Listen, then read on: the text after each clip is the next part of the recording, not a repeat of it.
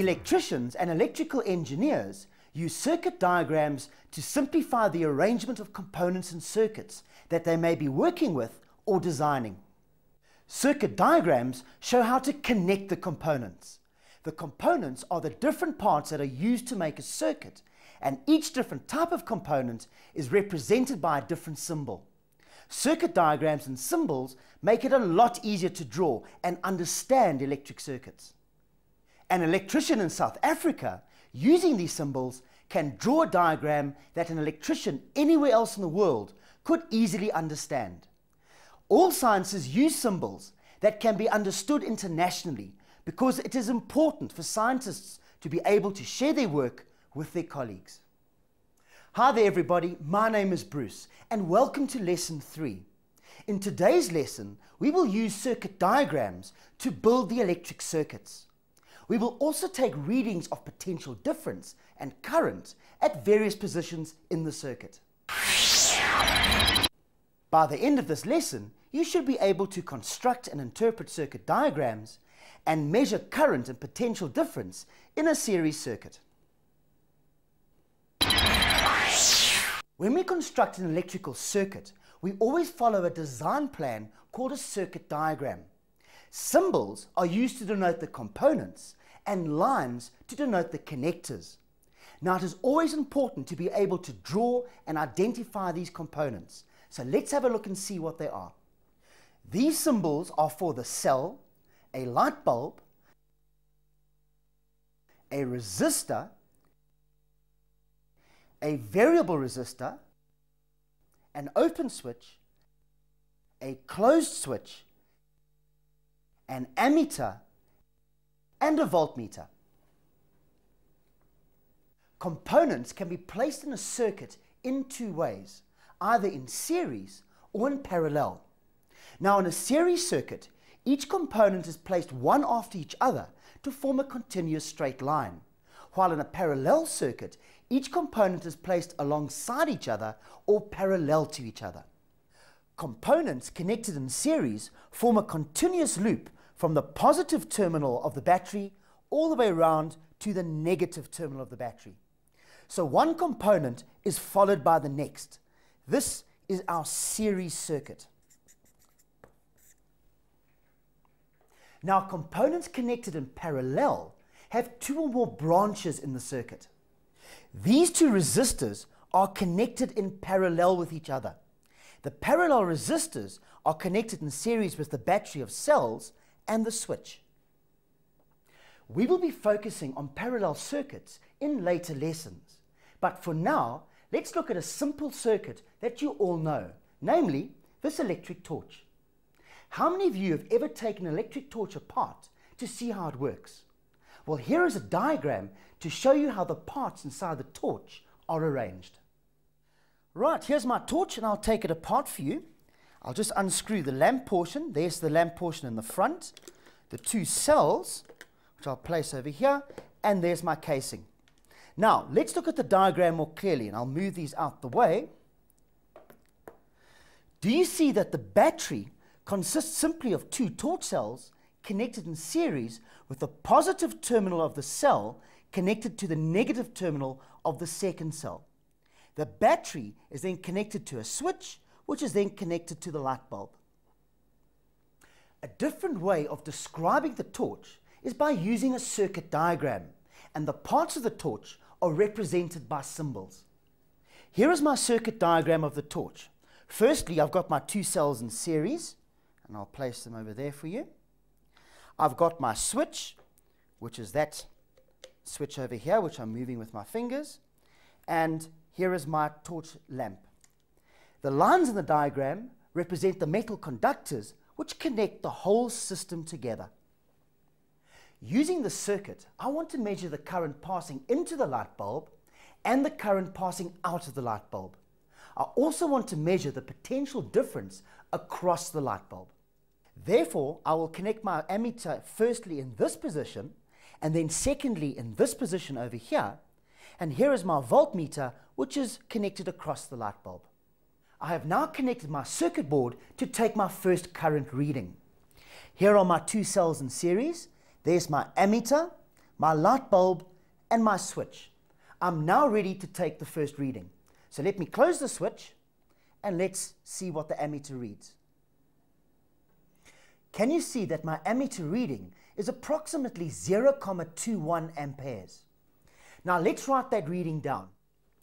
I1, my first ammeter reading, 0,21 amperes. I've now set up my circuit board to take my second ammeter reading. Let me close the switch. And can we see that my ammeter is reading 0.21 amperes? Let's now write down that second reading. I2 is reading 0.21 amperes. I'm now going to take my reading of potential difference across the light bulb. I've connected a voltmeter in parallel into my circuit. Let me close the switch and we'll take a reading. And can we see now that the voltmeter is reading 2,91 volts. Let's now write that reading down. So in my final column for the voltage, 2,91 volts. Now what did you notice about the reading on the ammeter in the two different positions? Well, if we look carefully, we can see that I1 and I2 are both reading 0,21 amperes. This means that the current is the same throughout the circuit. Now let's try another investigation. What I've done here is replace the light bulb with two resistors. I'm then going to take my first ammeter reading in this position, my second ammeter reading in this position over here, and then each potential difference reading by placing a voltmeter across R1 and then a voltmeter across R2. Right, let's take our first ammeter reading. I will close the switch. Do you notice that the needle is pointing to 0,11 amperes? Let's now write that down on our table. Here's our table. I1 my first ammeter reading, 0,11 amperes. Let's now take our second ammeter reading. I'll close the switch. And can you see that the ammeter is reading 0,11 amperes? Let's now write that reading in the table. So I2, my second ammeter reading, is 0,11 amperes. I'm now ready to take my first voltmeter reading. I'll close the switch and it stabilized and I'll use the bottom scale. My reading is 1,75 volts. Let's put that voltmeter reading down into our table. V1, 1,75 volts.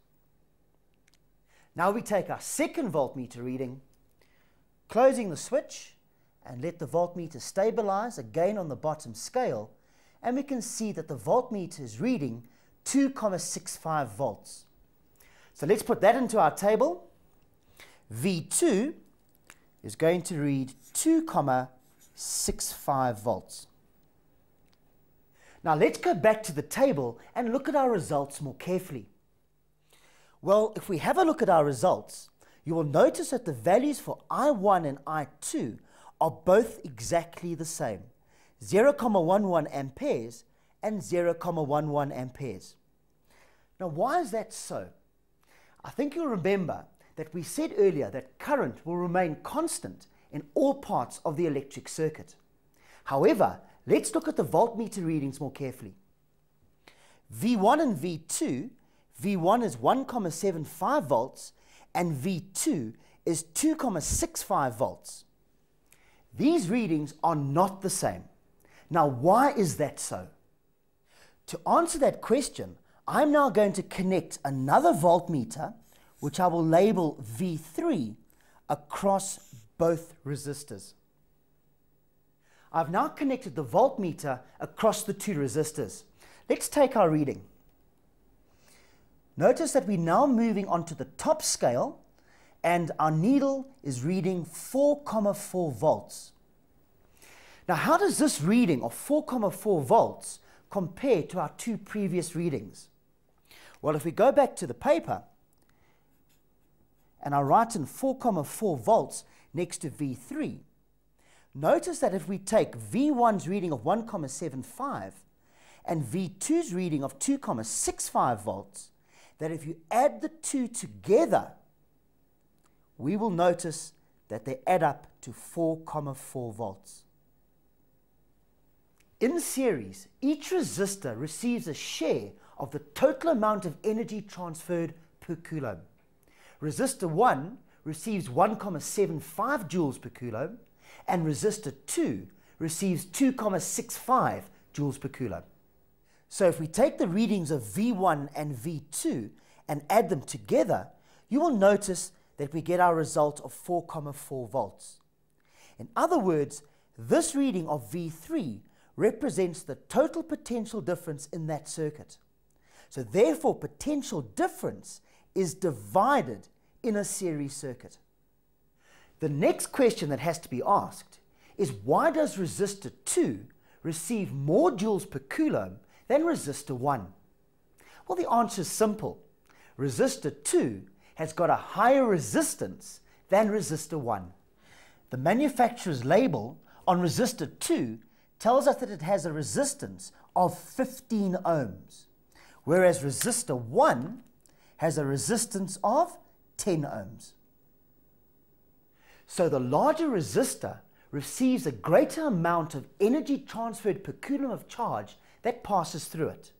In other words, it receives a greater share of the potential difference. Now let's summarize what we have learned today. The current in a series circuit remains constant. The potential difference can be divided in a series circuit. In series, each resistor receives a share of the total amount of energy transferred per coulomb, and the larger resistor receives the greater amount of energy per coulomb of charge passing through it. It receives a greater share of the potential difference. Thanks very much for joining me. In our next lesson, we will look more closely at the parallel circuits. Until then, goodbye for now. Yeah.